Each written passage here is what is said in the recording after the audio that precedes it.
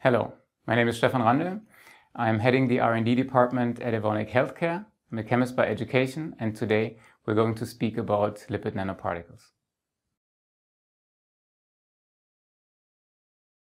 Messenger RNAs are currently among the most promising vaccine candidates against COVID-19.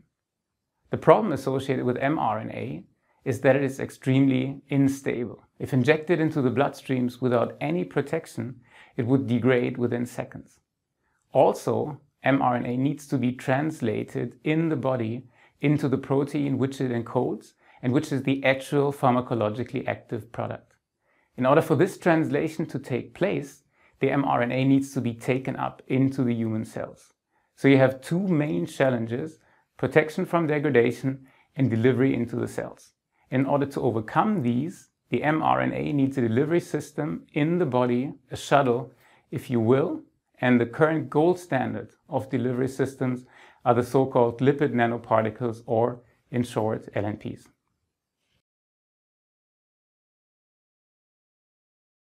LNPs are nanometer-sized particles consisting of lipids, basically they're grease balls in which the mRNA is encapsulated.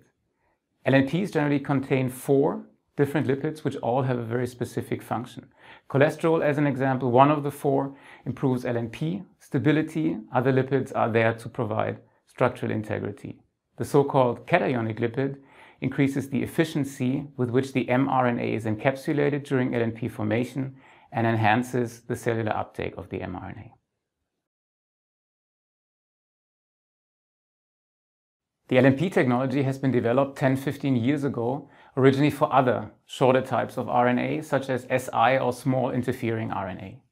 In 2018, the first siRNA drug was commercialized using the LNP technology, and actually also the same lipids that are now used in the mRNA candidates against COVID-19.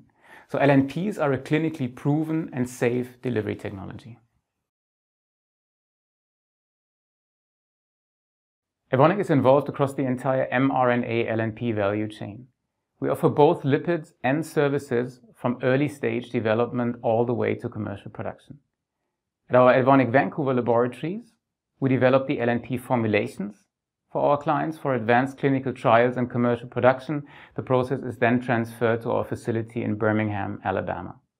Over the last decade, we've been involved in more than 100 LNP projects and in dozens of mRNA LNP projects for our clients.